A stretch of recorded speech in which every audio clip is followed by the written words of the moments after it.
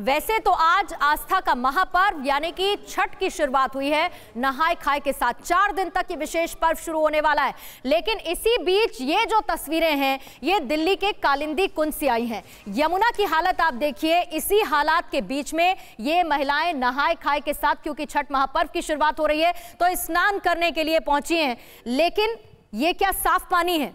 ये कितना प्रदूषित, जहरीला, खतरनाक पानी है। इन तस्वीरों से आप देखकर समझिए, क्योंकि इसी खतरनाक और जहरीले झाग के बीच में महिलाएँ डुबकी लगाती हुई नज़र आएँगी। मेरे पीछे आप तस्वीरें देखिए और आप यमुना की हालत देखिए और यहाँ पर जो छठ पर महिलाएँ मना रही हैं, उनकी मजबूरी को भी समझिए। गंभीर सवाल सरकार पर भी उठते हैं।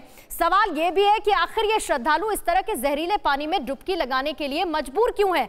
सवाल सरकार पर भी है। सरकार तमाम दावे तो करती है। लेकिन यमुना की तस्वीर में कोई बदलाव नहीं दिखता। हर बार ऐसी ही तस्वीरें देखने को मिलती हैं। छठ के महापर्व की शुरुआत के साथ ही आज नहाय खाए का दिन है और दिल्ली के कालिंदी कुंज में यमुना का पानी किस कदर जहरीला है, ये जहरीला झाग बता रहा है, जो लोगों के लिए कितना खतरनाक साबित हो सकता है और बेहद हैरान परेशान करने वाली दिल्ली की ये तस्वीरें यमुना नदी में गंदगी से जहरीला झाग जो बना है उसी के बीच में छठ महापर्व के दौरान ये महिलाएँ स्नान करने के लिए पहुँची हैं। इसका असर इन महिलाओं पर क्या होगा, ये समझना बहुत ज़्यादा मुश्किल नहीं है। लेकिन बड़ी बात यह है कि छठ महापर्व जिसकी आज से शुरुआत होनी है, सरकार ने उसके लिए तमाम वादे भी किए, लेकिन असल तस्वीर जरा देखिए। जमुना जी में मैं नहाने आई हूँ, यहाँ पे बहुत ज़्यादा गंदगी है नहाना भी ज़रूरी है। उसके बाद गंदगी से बीमारी भी हो सकता है। यही सब प्रॉब्लम पानी बहुत गंदा है पानी झाग आ रहा है बहुत गंदा पानी है नहाने में बहुत प्रॉब्लम हो रही है। पानी तो बहुत गंदा है। क्या करें नचार में नहाना पड़ता है। छठ पर्व करती हूँ हम लोग। पानी तो यहाँ का बहुत गंदा है लेकिन यहाँ पे ये भी मजबूरी है हम लोग का छठ पूजा में नहाना पड़ता है इसलिए हम लोग न यहाँ पे नहाने आए हैं। मैं भी चाहती हूँ कि थोड़ा ये जमुना जी साफ़ कराए सरकार ने भी। यमुना नदी में गंदगी से जहरीला पानी। मेरी सहयोगी श्रद्धा चतुर्वेदी लाइव इस वक्त हमारे साथ जुड़ चुकी हैं। श्रद्धा, जरा मुझे कैमरे के ज़रिए हमारे दर्शकों तक तस्वीर पहुंचाइए। पीछे के हालात किस कदर है? वहाँ पर महिलाएँ पहुँच रही हैं नहाए खाए के साथ स्नान करने के लिए। कितना खतरनाक, कितना गंदा इस वक्त नज़र आ रहा है पीछे आपको।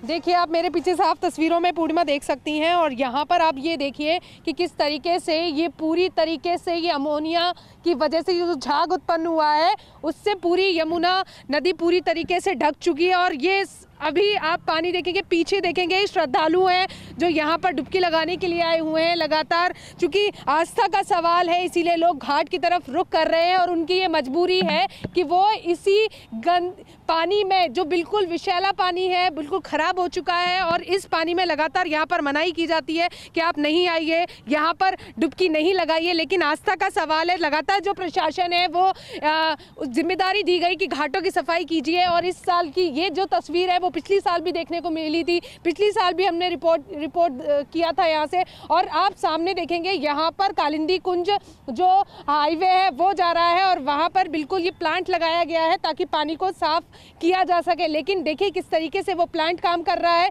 कि बिल्कुल भी पानी बिल्कुल भी साफ़ नहीं हुआ है और ये जो पानी, पानी का देख रहे हैं ये देख रहे हैं ये हरियाणा की तरफ़ है। पानी है। यानी कि अगर मैं ये कहूँ कि सिर्फ़ एक साल बीता है ना तस्वीरें बदली है ना सरकार का रवैया बदला है श्रद्धा, क्या ये मुमकिन हो पाएगा कि जो श्रद्धालु यहाँ पर पहुँचे हैं, उनसे आप बात करें और मैं चाहूँगी उनको आप ये बताएँ कि ये पानी कितना जहरीला है और उनके लिए कितना खतरनाक है। ज़रूर मैं कोशिश करूँगी आगे जाने की और बात करने की पूर्णिमा कोशिश करूँगी। लगातार जो श्रद्धालु हैं वो घाट की तरफ़ रुक कर रहे हैं और चूँकि ये पानी है और उनकी मजबूरी है चूँकि आना है और उनको उनकी आस्था का सवाल है और यहाँ पर आप देखेंगे मैं उसी जगह पे पहुँच गई हूँ जहाँ पर बहुत ज़्यादा श्रद्धालु आए हुए हैं। यहाँ पर पूजा करने के लिए आप लोग आए हुए हैं यहाँ पे। पानी तो बहुत ज़्यादा बहुत ज़्यादा खराब हो रहा है। झाग झाग सी हो रहा झाग झाग सा हो रहा है। लेकिन ये तो इतने झाग वाले पानी में डुबकी लगाने के लिए आए हुए हैं। वैसे आने पड़ेगा? कौन सी? गंगा मैया है इसमें तो गंदा रहे कुछ रहे तो गंगा मैया तो उसी में पर- प्रगट है ना? अभी इसी पानी में आपने अपनी मनोकामना हाँ है? इसी में मन करना है। लगातार आप देखेंगे महिलाएँ आपने अच्छा, भी यहाँ इनसे आके बात करते रहिएगा। रमेश बिदुड़ी इस वक्त हमारे साथ जुड़ चुके हैं फ़ोन लाइन पर। आप सांसद है। रमेश बिदुड़ी चलता है ये इतना गंदा पानी वहाँ पर लोग पहुँच रहे हैं स्नान करने के लिए। महिलाएँ झाग देखिए गंदगी देखिए। जहरीला कितना ये पानी है सर? चलता है ये सब? चलता नहीं है। हम सबके लिए शर्मिंदगी की बात है कि देश में राजधानी में शासन करने वाला जो व्यक्ति है, अलग तरह की राजनीति कहकर लेकर आया था। यमुना को पीने के पानी की तरह बनाऊँगा, लोग पानी पिएँगे ये उन्होंने कहा था। अब राज्य में वो शासन सत्ता पर आसीन है और लोगों को छोटा लालच देकर, बिजली फ्री देकर, बस में माता बहनों को फ्री घुमाने का, फ्री राइडिंग करने के नाम पर, वो मुख्यमंत्री तो बन गया। लेकिन भारत में रहते हुए निश्चित रूप से हम के लिए शर्मिंदगी की बात है कि हमारी आस्था का प्रतीक, हमारी संस्कृति और उसके साथ में ऐसा मज़ाक दिल्ली देश की राजधानी में उड़े। तो हम सबके लिए निश्चित रूप से ही शर्मनाक बात है और शर्म आनी चाहिए उस दिल्ली के मुख्यमंत्री केजरीवाल को कि जिन्होंने ऐसी आस्था के प्रतीक के रूप में छठ पर्व को मनाने के लिए और नौटंकी किए बार बार पहले कहा हम करने नहीं देंगे, फिर कहा आप जमुना पे नहीं करने देंगे।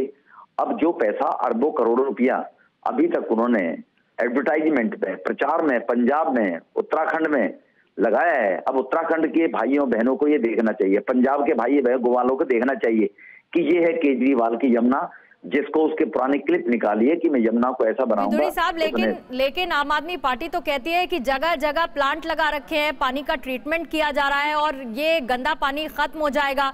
आप तो प्रचार पे पैसा लगने की बात कर रहे हैं लेकिन यहाँ तो पानी के लिए जो ट्रीटमेंट प्लांट लगाया गया लगता है वो भी काम नहीं कर रहा है।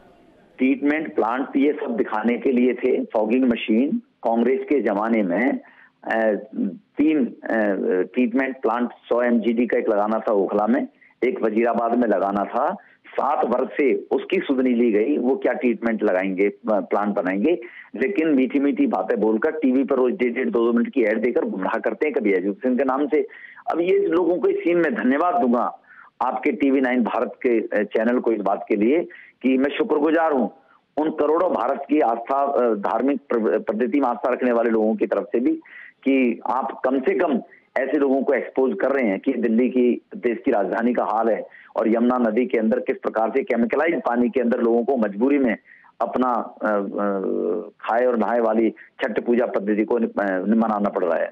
रमेश बेदुड़ी, मैं बार बार ये पूछ रही हूँ कि या क्या इन श्रद्धालुओं को कोई देखने वाला, इनको कुछ बताने वाला, समझाने वाला या मना करने वाला है?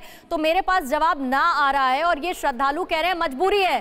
अगर स्नान करना है, नहाए खाए का दिन है तो जाए तो जाए कहाँ? दिल्ली में तो हर जगह प्रदूषण है, हवा में प्रदूषण, पानी में प्रदूषण। नहीं, देखो, दिल्ली में प्रदूषण, हवा में प्रदूषण, लेकिन पानी में प्रदूषण तो जब हर साल, हर वर्ष छठ पूजा मनती है यमुना के अंदर।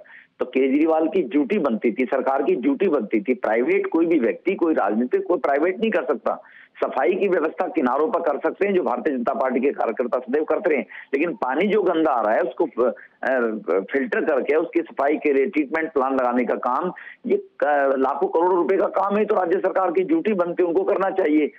तो इसलिए ये इसलिए हमारे हम सब के लिए शर्म की बात है कि ऐसे व्यक्ति को मुख्यमंत्री बनाया है और ये सोचना भी चाहिए छठ पर्व मनाने सब भाई बहनों के इस बात के लिए कि उनके साथ में कैसा मज़ाक उड़ाया जा रहा है। शुक्रिया रमेश बिदुड़ी हमारे साथ बातचीत करने के लिए। बीजेपी के सांसद कह रहे हैं केजरीवाल सरकार जिम्मेदार इसके लिए और जो पैसा कैंपेनिंग में लग रहा है अलग अलग राज्यों में चुनाव से पहले बेहतर होता वो पैसा पानी के ट्रीटमेंट में लगता ताकि आज के इस दिन ये पानी साफ़ नज़र आता। श्रद्धा हमारे साथ लगातार बनी हुई है। श्रद्धा, तस्वीरें तो आप दिखाई रही थी, लोगों से भी बात कर रही थी। बीजेपी ये कह रही है कि बदहाली के लिए केजरीवाल सरकार जिम्मेदार है। जरा मुझे ये बताइए कि इतने सालों में ये तस्वीर कभी बदली है? सरकारें बदलती गई, लेकिन ये व्यवस्था क्या कुछ बेहतर हो पाई?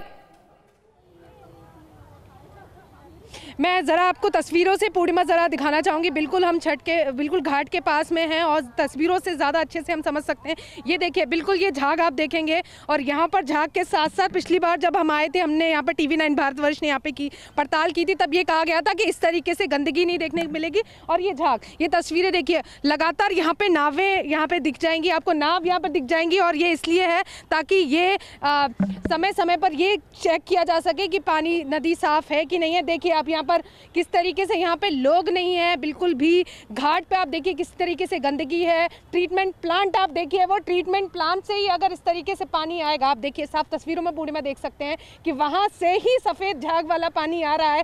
तो ट्रीटमेंट प्लांट किस तरीके से काम कर रहा है, वो आप सब तस्वीरों में देखेंगे। इसी के साथ ही मैं आगे आपको दिखाना चाहूँगी, शायद तस्वीरों से दिख जाए कि वहाँ पर आप देखेंगे कि बल्लियाँ लगाई हुई हैं, कूड़ा, करकट है उसको रोकने के लिए, लेकिन वहाँ पर भी लापरवाही आपको दिख जाएगी लगातार कूड़ा वहाँ से फेंका जा रहा है। कोई भी एक्शन नहीं लिया जा रहा है। ये तस्वीरें हम लगातार आपको दिखा रहे हैं। थोड़ा और आगे जा कर के दिखाना चाहेंगे ताकि अच्छे से और समझ में आई देखिए, मैं जितना आगे जाऊँगी, ये झाग उतना बढ़ता ही जाएगा। और ये सिर्फ़ इसलिए है क्योंकि पानी बहुत ज़्यादा गंदा हो तक नज़र श्रद्धा जा रही है इस वक्त अगर हरियाणा सरकार ये एक्सक्लूसिव तस्वीरें हैं श्रद्धा जो आप हम तक पहुँचा रही हैं। आप जरा दूर तक जहाँ तक नज़र जाएगी वहाँ देखिए ये सफ़ेद झाग नज़र आ रहा है और ये यमुना में गंदगी का आलम है। अमोनिया का लेवल लगातार बढ़ा हुआ है और इसी में श्रद्धालु पहुँच रहे हैं डुबकी लगाने के लिए। लेकिन श्रद्धा ये बताइए क्या सरकार ने नहीं कहा था कि चीज़ें व्यवस्थित की जाएँगी? क्या ये नहीं कहा था कि पानी साफ़ हो जाएगा? कल जब हम इस पर बात कर रहे थे तो शायद ये कहा गया था कि शाम तक थोड़ी स्थिति बेहतर होगी, लेकिन आज का दिन भी आ गया। देखिए, पूर्णिमा शनिवार की अगर हम रिपोर्ट दिखाएँगे और मैं खुद यहाँ पर इसी जगह पर आई थी, तब इतनी ज़्यादा यहाँ पर झाग नहीं था। आज बहुत ज़्यादा मात्रा में यहाँ पर झाग देखने को मिल रहा है। गंदगी की वजह से और हमेशा ये कहा जाता है कि हरियाणा की तरफ़ से जो फैक्ट्रियाँ हैं, वहाँ से निकल जो केमिकल निकलता है, उसकी वजह से ये झाग होता है या फिर हम उत्तर प्रदेश से बात कर लें, दूसरे राज्यों पर ठीकरा फोड़ा जाता है और दूसरे राज्य कहते हैं कि हमारी तरफ़ जो ट्रीटमेंट प्लांट्स लगाए गए हैं, वो बिल्कुल साफ़ काम कर रहे हैं, वो बिल्कुल साफ़ पानी भेज रहे हैं। तो फिर इस ये जो तस्वीर हम देख रहे हैं इसका जिम्मेदार कौन होगा? ये तस्वीर का ये जो जवाब है उस सवाल का जवाब कौन देगा? क्योंकि ठीकरा हम आपस में एक दूसरे पर फोड़ते रहेंगे और उसका खामियाजा आप देखिए तो श्रद्धा क्या ये सरकार की कैजुअल अप्रोच नहीं है? हो गई है। श्रद्धा क्या ये सरकार की कैजुअल अप्रोच नहीं है कि हवा में अगर हाँ। प्रदूषण है तो भाई क्योंकि दिवाली है हमने पटाखे बैन कर दिए लोग माने नहीं पराली जलाई जा रही है इसीलिए हवा में प्रदूषण है पानी में हम्म। गंदगी इस इस वजह से है तो सरकार क्यों चुनी गई सरकार क्या करेगी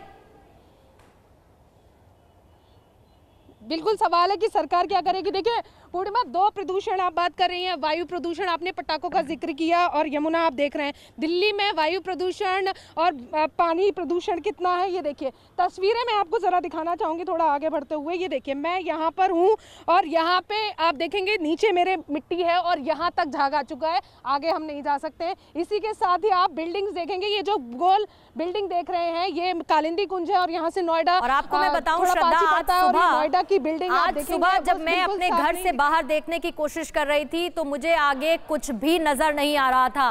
स्मॉग, प्रदूषण इस हद तक था कि हवा साफ़ नहीं थी, पानी कितना गंदा है, ये तस्वीरें तो हम, आप, हम तक पहुँचा ही रही हैं। श्रद्धा, शुक्रिया, और साथ ही लोगों को ये बताइए कि ये पानी उनके लिए बहुत खतरनाक है।